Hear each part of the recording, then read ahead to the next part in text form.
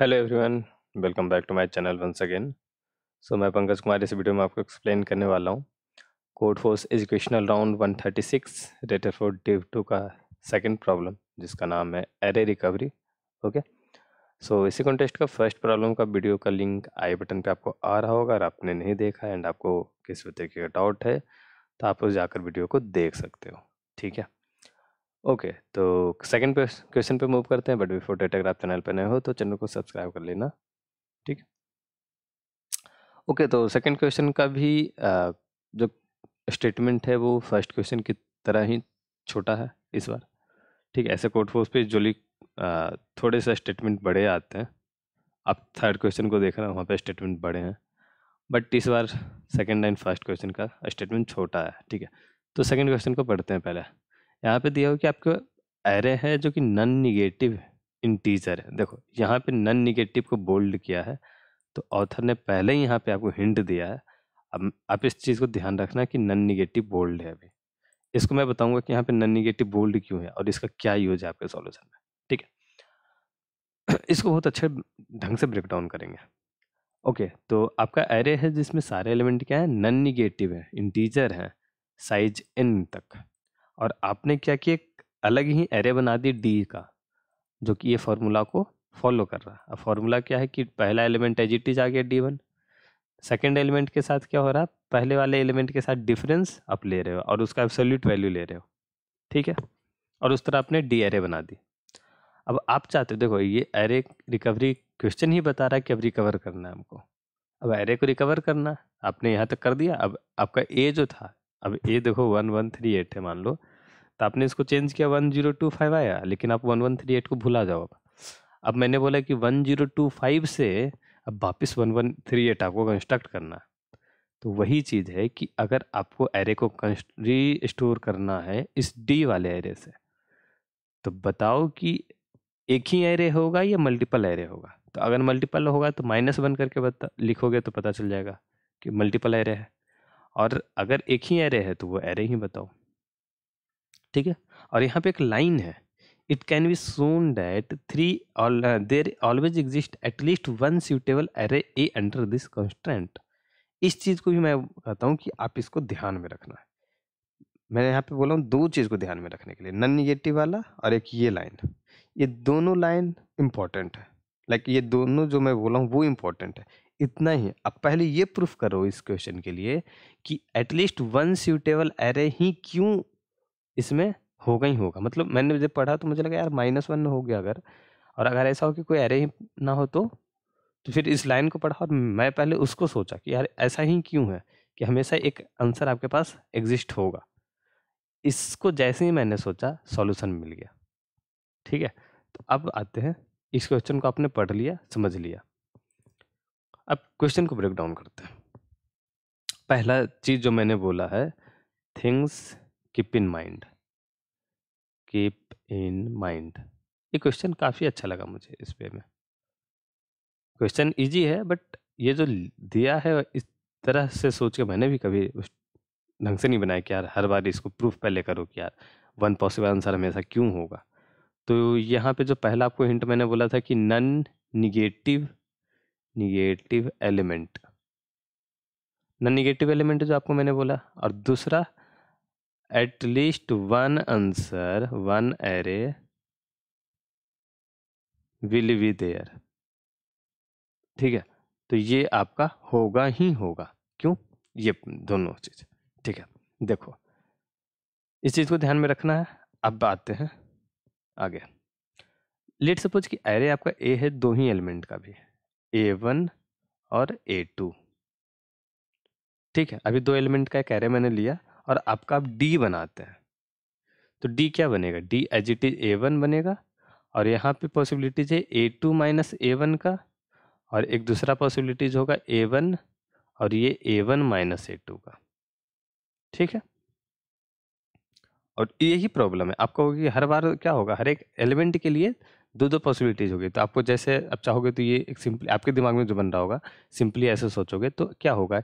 ये A one root होगा सबसे पहला ठीक है? और यहाँ पर से दो पॉसिबिलिटीज निकलेगी A one minus A two की सेकेंड एलिमेंट के लिए, या to A two minus A one के लिए, ठीक है? और ये एक नया नोड बनेगा ट्री का। और ये फिर इससे क्या होगा? थर्ड एलिमेंट के लिए? जस्ट ए सेकेंड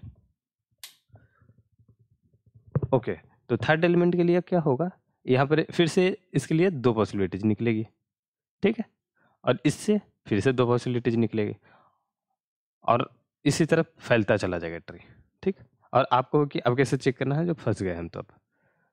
ठीक है, माना कि यहाँ पे कंस्टेंट थोड़े छोटे हैं बट आप इस वे में इसको चेक नहीं कर पाओगे आई थिंक और काफ़ी टिपिकल भी होगा। यहाँ पे बहुत सिंपल बहुत तेज़ी सॉल्यूशन है, जिसमें आपको ज़्यादा नहीं सोचना। बस सही वे में जाने की ज़रूरत है, नहीं तो इस क्वेश्चन में कुछ नहीं है।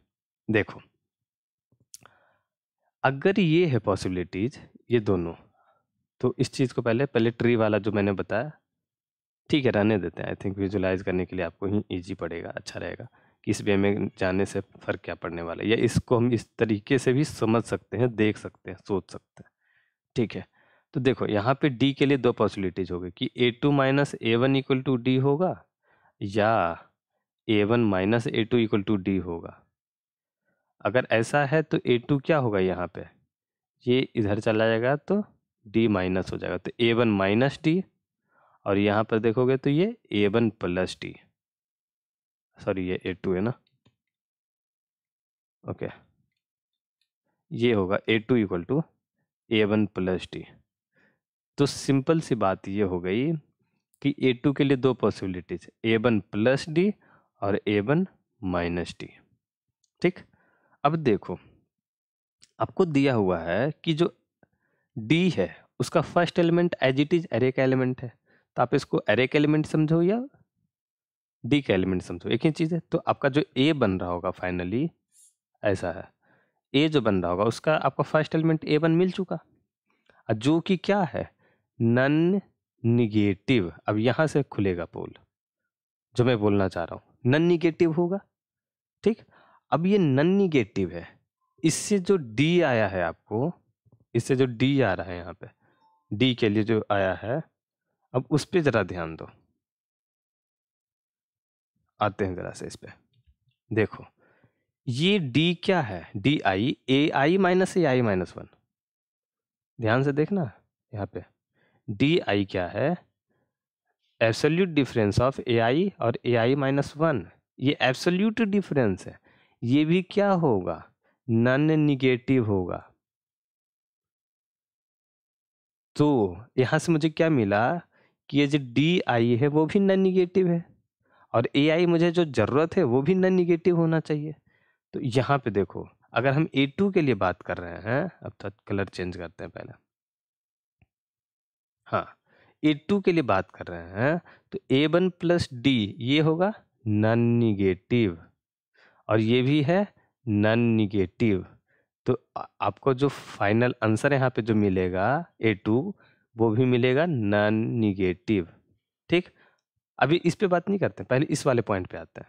तो ए आपको नन निगेटिव मिला A two similarly A three के लिए भी दो ही चांस होगा। ए टू प्लस डी और A two minus D means D two यहाँ पे बात कर रहे हैं, ये डी वन है। तो इसमें भी ये क्या होगा ये नन निगेटिव चूँकि यहाँ से आ रहा। है क्यों? ये A two A one plus D one ये हमेशा एक न एक पॉसिबिलिटी आपको नन निगेटिव मिलेगा। और ये D two already non negative है तो इससे क्या होगा? ए थ्री भी आपको मिल जाएगा नन निगेटिव अब आप समझो ये क्या हो रहा? है वन प्लस टू हमेशा नन निगेटिव होगा ना? ये मैं कहना चाह रहा हूँ तो ऐसे ही चल रहा।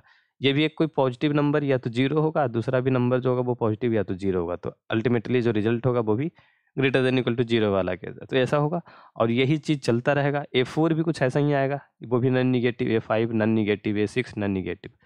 तो क्या समझे कि एक सॉल्यूशन ये वाला जो रास्ता है, प्लस डी वाले के साथ हर एक पोजीशन पे जाएँगे तो आपका एक जो होगा रास्ता वो आपको मिल रहा होगा इस आंसर में। ट्री में देखोगे अगर मान लो प्लस डी वाला रास्ता इधर के लिए जा रहा होगा ठीक है?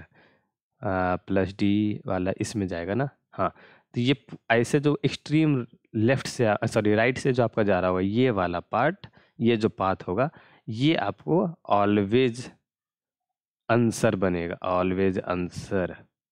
यही मैं बोल रहा हूँ सेकेंड पॉइंट को ध्यान में रखने ये वाला पॉइंट। देखो अब इस चीज़ को ध्यान से समझो। एक बार मैं फिर से रिपीट कर देता हूँ।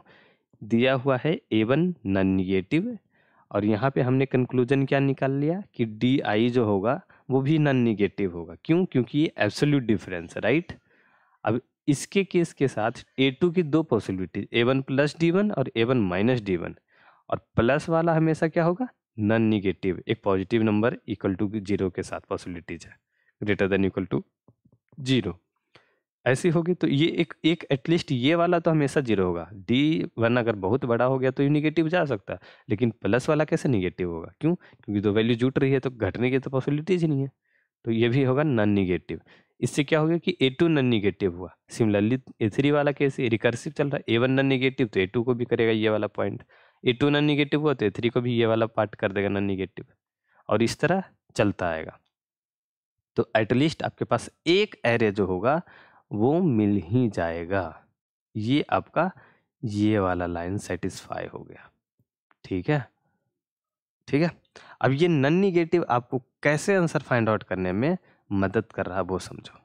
देखो, अब आप कहोगे मल्टीपल आंसर वाला जो बात यहाँ पे की गई है तो मल्टीपल आंसर कब होगा? जब किसी पॉइंट पे, क्योंकि देखो एलिमेंट अब निकाल रहे हो, मान लो ए टू ही निकाल रहे हो अभी सिर्फ़ तो आपका ए टू जो होगा, अगर यही सिर्फ़ नन निगेटिव हुआ। सिर्फ़ यही नन निगेटिव हुआ और ये वाला चल ये चला गया निगेटिव में माइनस टू चला गया। तो तो आंसर माइनस वन वाला पॉसिबल ही नहीं है क्योंकि मल्टीपल पॉसिबिलिटीज नहीं हो रहे। तो मल्टीपल पॉसिबिलिटीज कहाँ पे होगी? ये दोनों अगर हमारा वैलिड हो गया और ये वैलिड मतलब क्या? कि दोनों नन निगेटिव हो गया।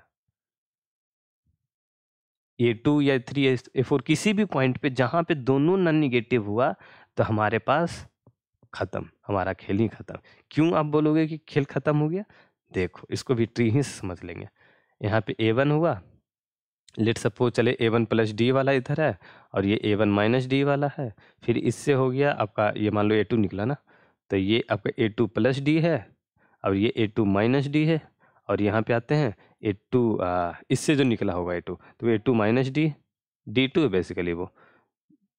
थोड़ा सा ऐसा लिख, मैं जल्दी जल्दी में गलत ही लिख के चला गया डी वन होना चाहिए, यहाँ फिर डी टू होगा।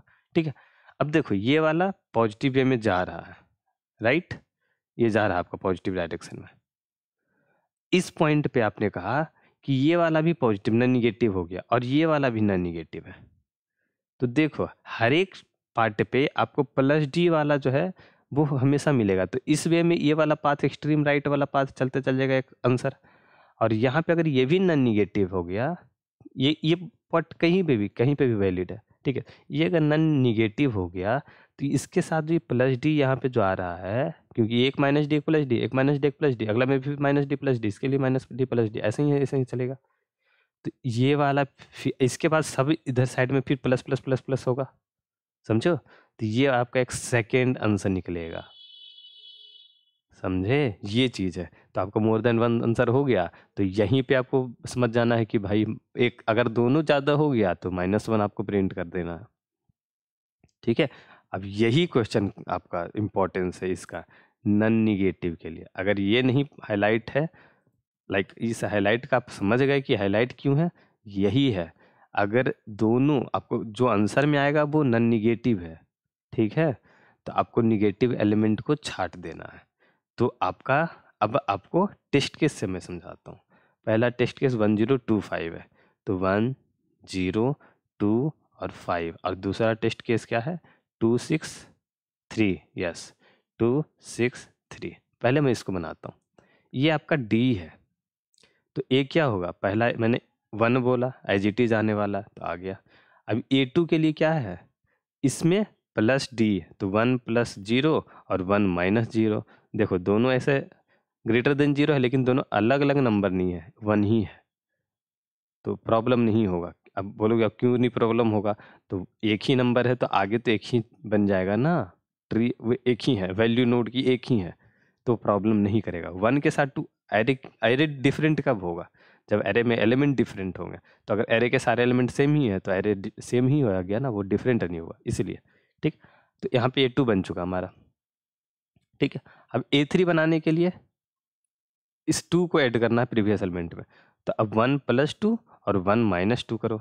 तो वन प्लस टू थ्री और one minus two minus one तो निगेटिव को छोड़ देना है पॉजिटिव तो एक ही पॉसिबिलिटीज है, एक निगेटिव हो गया, एक पॉजिटिव है। एटलीस्ट एक पॉजिटिव तो मैंने बोला था कि हमेशा होगा। तो ये तो है तो चला लिया आंसर अब थ्री फाइव एट और three minus five minus two फिर से देखो, एक निगेटिव हो गया, हटा दो इसको। पॉजिटिव को ले लिया। वन वन थ्री एट आपका आंसर बन गया।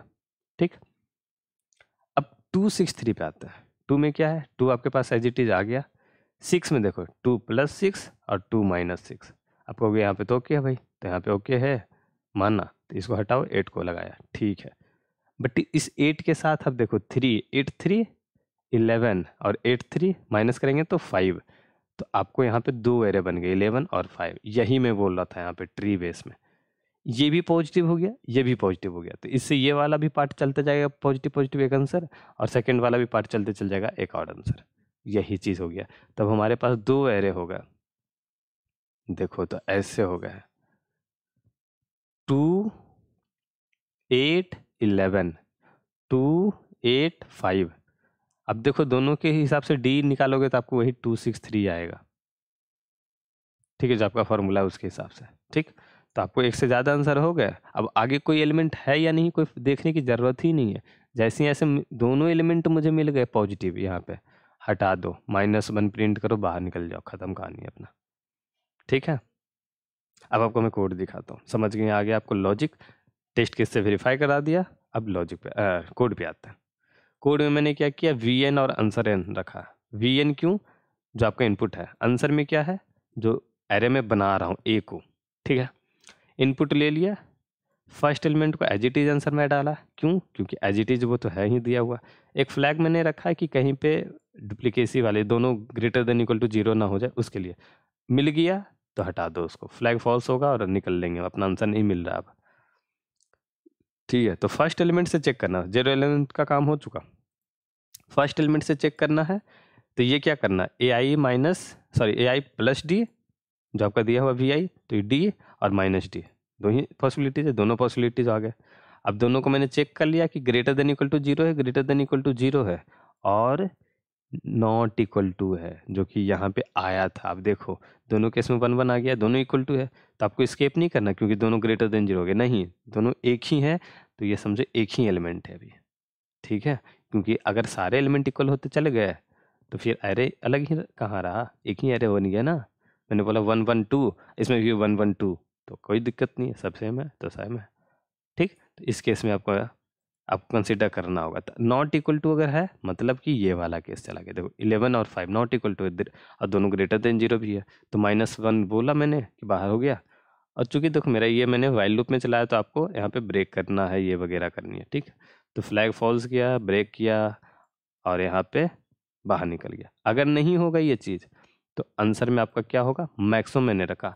अब सिंपली इसको चाहो तो ग्रेट जो भी ग्रेटर देन ज़ीरो उसको रख लो। ठीक है? अब फिर बोलोगे कि दोनों निगेटिव क्यों नहीं होगा? तो मैं पहले ही बता चुका हूँ प्लस डी है। तो निगेटिव नहीं होगा। तो मैंने मैक्स वाला यूज़ कर लिया। अब यहाँ पे आप देखो डिफरेंट तरीके से कर सकते हो। सब कुछ सही से चलता आ गया। तो हमारे पास फ्लैग में ट्रू होगा, जो कि यहाँ पे इनिशलाइज किया था। और यहाँ पे आपको एरे को बस प्रिंट कर देना और कुछ नहीं। नहीं तो आपका माइनस वन तो यहाँ पे प्रिंट हो ही चुका। ठीक है? ओके सो आई होप आपको समझ में आ गया होगा एंड मेरा कोड एक्सप्लेनेशन लॉजिक सब कुछ क्लियर होगा आपको। अगर कोई डाउट बचता है तो नीचे कमेंट बॉक्स में बताओ भाई। एंड चैनल पर नहीं हो तो चैनल को सब्सक्राइब करना नहीं भूलना, ठीक है? मिलते हैं अगली वीडियो में। Dhillon bye bye